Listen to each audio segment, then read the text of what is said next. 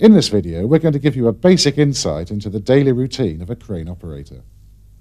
The mission statement for a crane operator is to transfer loads safely as required for efficient operations. And this will only be achieved by having well-trained crane operators on the rig. Remember, in this video, we're only going to show you the basics of what you need to know to be a crane operator. You'll get a more detailed look at working with cranes when you watch the other videos in this series. So let's get started. Oh, I'd better introduce Tom here. He's a trainee crane operator.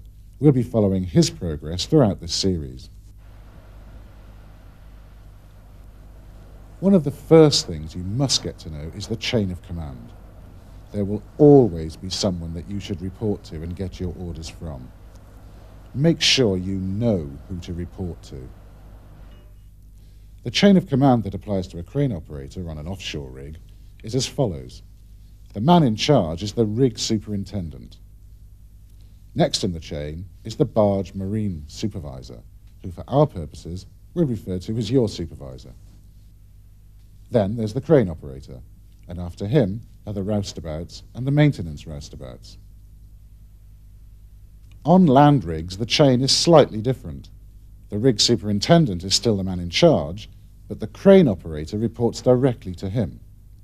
The roustabouts and the maintenance roustabouts report to the crane operator. When we refer to the supervisor in this case, then we'll be referring to the rig superintendent.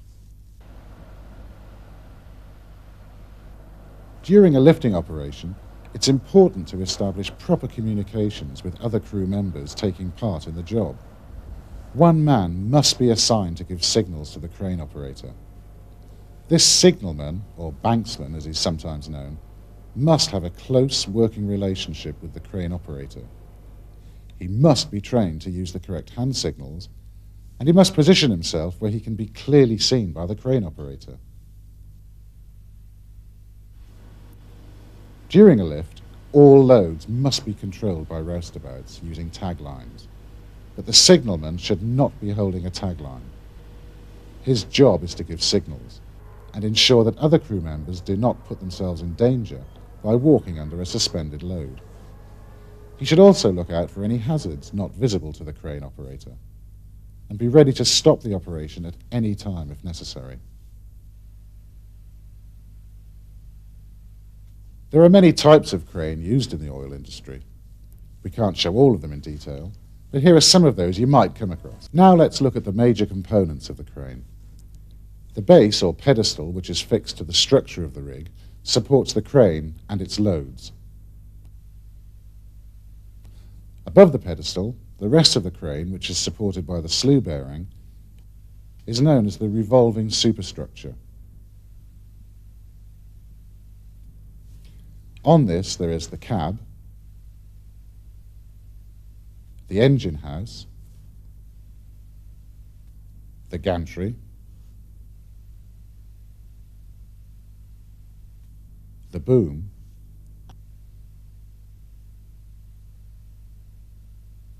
and the jib.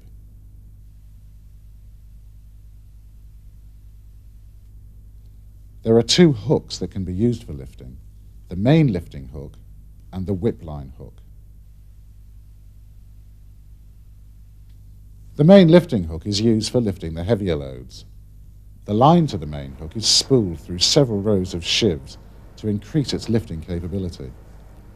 Because of the number of wraps around the sheaves, it takes longer to raise and lower the load. So for the lighter loads, depending on the crane's capacity, there's the whip line. Since it isn't spooled through an array of sheaves like the main lifting hook, it's quicker in lifting and lowering light loads. At the start of each shift as a crane operator, you must check the crane to ensure that it's in good working condition and ready for use. The daily checklist specifies the checks to be made. Any problems must be noted in the crane logbook and brought to the attention of your supervisor. As well as the daily checks, there are weekly checks to be made. These checks are covered in detail in the video Crane Maintenance. Let's take a look into a typical crane operator's cab. The layout of the controls will vary depending on what type of crane you're using. So if there's something you're not sure about, you should always refer to the operator's manual. A copy of the manual is normally kept in the cab. If it's not there, or you have any doubts at all, consult your supervisor. We'll look at how all the controls in the cab work in the video crane operations. On a drilling rig, every member of the crew must work safely at all times. As a crane operator, you have a particularly heavy responsibility. If you operate the crane in an unsafe manner, you may seriously injure other personnel. You may cause damage to equipment, and you may seriously disrupt the operation of the rig. There's a lot to think about, but in time it'll all become part of your routine.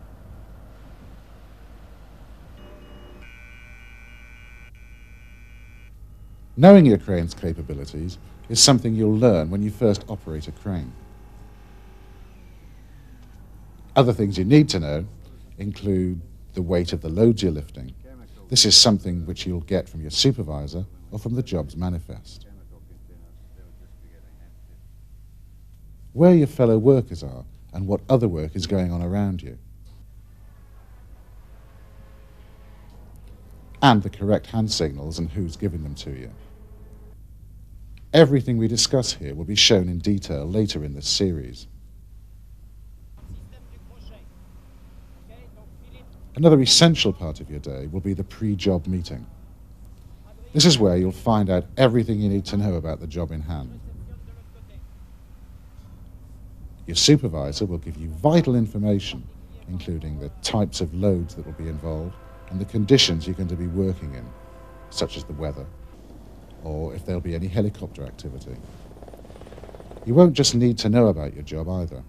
It's also important that you know what other work is going on around you. For example, who's been delegated the job of signalman? Remember at the pre-job meetings, always pay attention and also participate. Ask questions to ensure you fully understand the requirements of the job and provide information to your fellow crew members. There's a saying, wash me, grease me, keep me clean, and I will be a good machine. And it's certainly true when it comes to cranes. It's much easier and more pleasant to work with a tidy crane. Spotting any problems will also be easier if the crane is clean, inside and out. Besides this, a well-presented crane demonstrates the professional attitude of the crew and the company. Get into the habit of doing a bit of housekeeping around your crane. It'll be for your benefit. That's you too, Tom.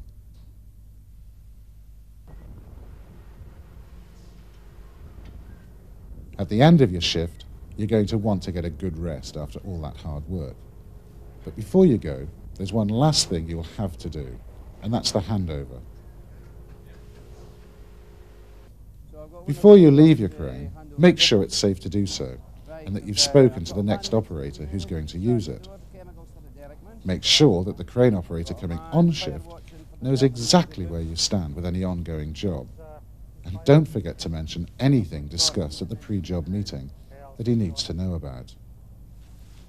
Tell him about any problems you've had and any maintenance that needs carrying out. You should also note any problems clearly in the crane logbook and report them to your supervisor.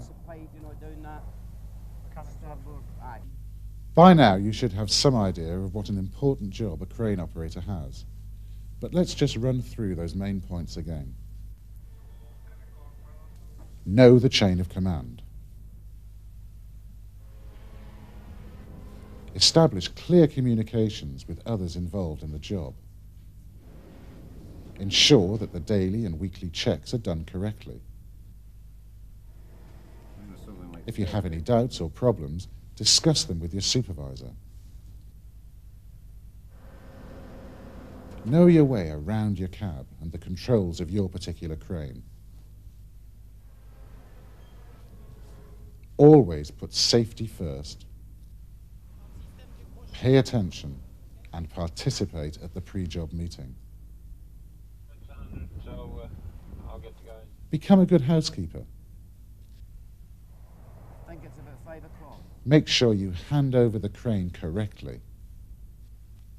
There's a lot to learn if you want to be a successful crane operator. Take a look at this clip from an earlier training video.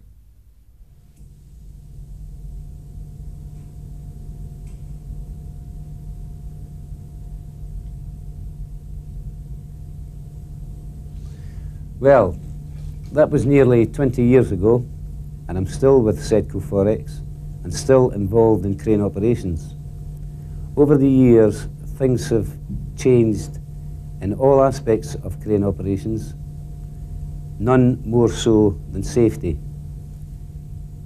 Being a crane operator is a demanding job with lots of responsibility. If you want to make the grade, you must take your training seriously and think about safety all day and every day. There's the voice of experience.